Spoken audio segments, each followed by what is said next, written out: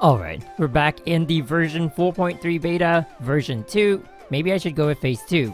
Yeah, but anyway, I'm pretty sure everyone has seen the amazing and devastating power of Rozaliya's augmented battlesuit, Fervent Tempo Delta, in the first phase. And as just about everyone expected, she is getting some adjustments.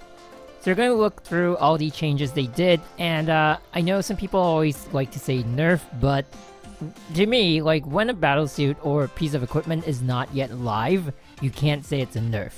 You know, if it's live and they do some tweaks to like turn it down, yeah, that's a nerf. But none of these are actually live, so it's not nerfing, it's just adjusting. Anyway, she is still amazing and devastatingly powerful. But of course, let's look at the adjustments. First off, leader skill is back to normal. If you remember, they added 16% additional shield damage, but it's no longer there. This is actually a good move because first off, that would be way too OP as a standalone leader skill. Second of all, no other augments got their leader skills, well, augmented. So maybe they just wanted to try something new, but it wasn't working out because it's way too crazy, so they just put it back to normal, but it's still a strong leader skill. Alright, next. Passive bar amounts have been tweaked. Previously, we had 800 per bar, with a max value of 1600 because she has two bars, and then you get another 1600 when you enter Frenzy with the charge attack. Now it's been changed to 1200 per bar, and 2400, of course, when you have both bars max. Same thing, you do also get 2400 when you enter Frenzy. Now, the previous depletion rate was 50 per 0.2 seconds, now with the added capacity, it's 75 per 0.2 seconds.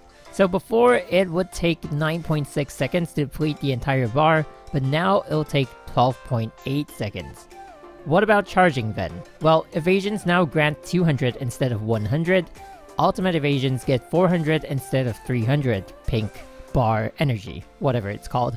Um, basic attacks get adjusted also to 150 instead of the previous 100. So overall, her unique passive charges faster, depletion is slower, so it's not bad. However, you know, one thing to note is that you hardly ever use the charge attack, but we'll go more into that later. Now onto the basic attacks, which do see a bit of a drop.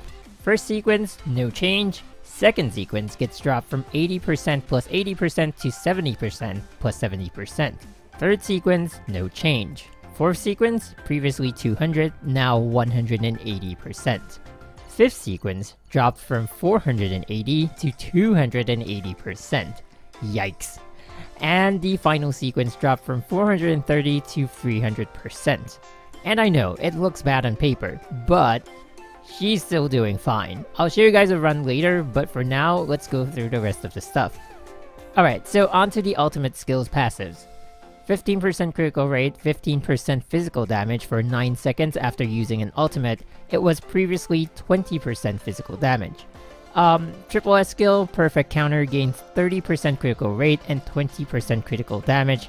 Previously, this one was 20%, so we get an increase. Alright, the next set of numbers might be a little scary, but just hang in there. Charge Attack. When both gauges are filled, hold the attack button and deal 1200% of attack in physical damage and enter Frenzy. while that number has now been changed to 400%. The three phases also get a drop from 300, 300, 600 to 240, 240, 560. Honestly, I'm not concerned about this because throughout the entire version 1, except for that one time I used it just to show people, also because I wanted to see it, I've practically never used the charge attack at all. That's also why Kefka is not recommended, because you rarely ever get to use a charge attack.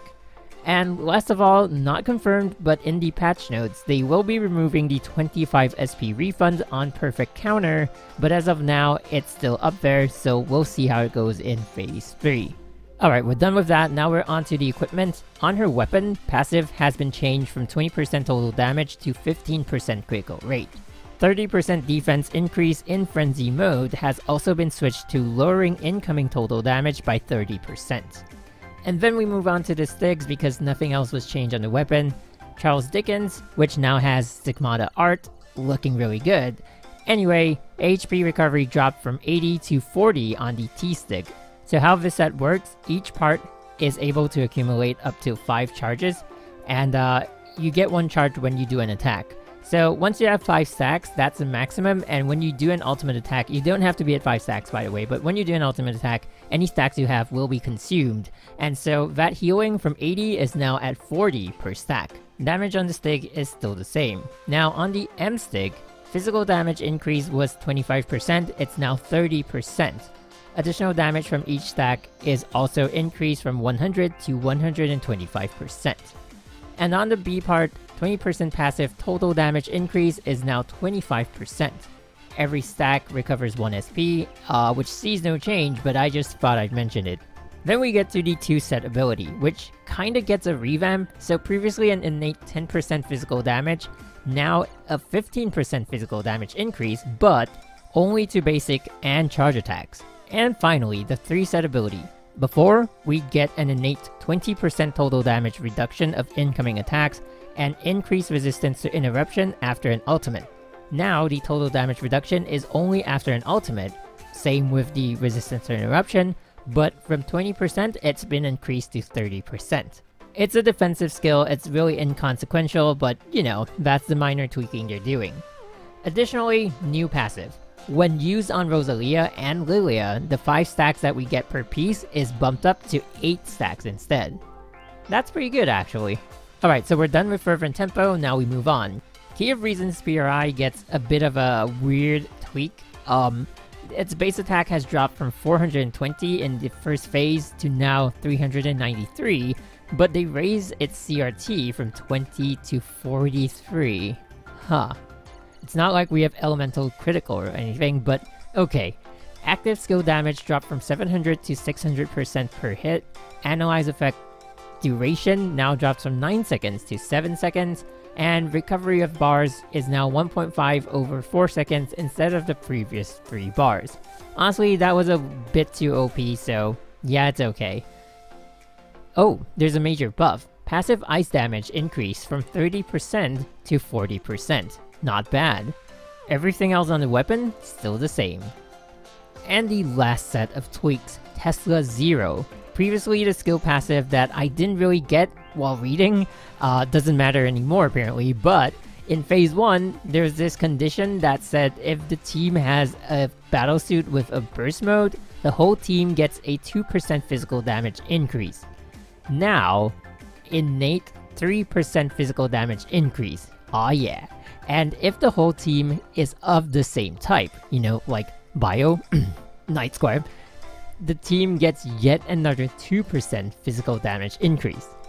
3 star ability, previously from heavy attack types, now to fast attack types, Night Squire again. Team gains a 4% physical damage increase, previously 5%. 4 star ability, previously fast attack type, now burst mode type instead. Also 4%, previously 5%. Okay, this one is a 3 star skill again. Um, last part of her ultimate would cause enemies to take 10% additional physical damage. Now that 10% has dropped to 6%. I imagine people who don't want to get the S rank elf might be happy about that.